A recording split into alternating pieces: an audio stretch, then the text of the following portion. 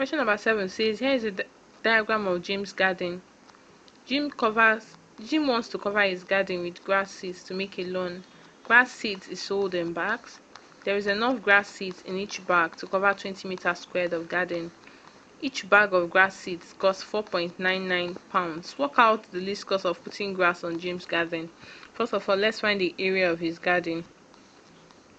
His garden. Now, from here, you find out that it's like a trapezium. So, the area is going to be half a plus b times h. 12 plus 18 times your h is 9. So, it's going to be half into 30 times 9.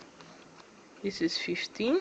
This time is going to be 135 meters squared now that's the area of the garden and we're told that one bar covers 20 meters squared so 20 meters squared that's what one bar covers one meter squared will be 1 over 20 135 meter squared will be 1 over 20 times 135 over 1 5 into this 4 5 into this is 27 which is 27 over 4 and that is 6.75 bags. It's approximately 7 bags. Okay? And we're told that one bag costs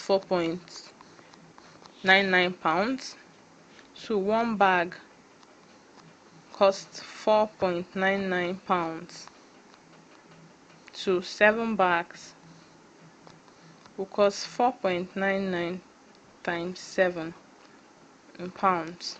Okay let's do this. This time this is 63 3 carry 6 63 plus 6 is 69 9 carry 6 7 times 4 is 28 29 30 31 32 33 34 34 now want to divide by 100 which is going to give you 34.93 pounds.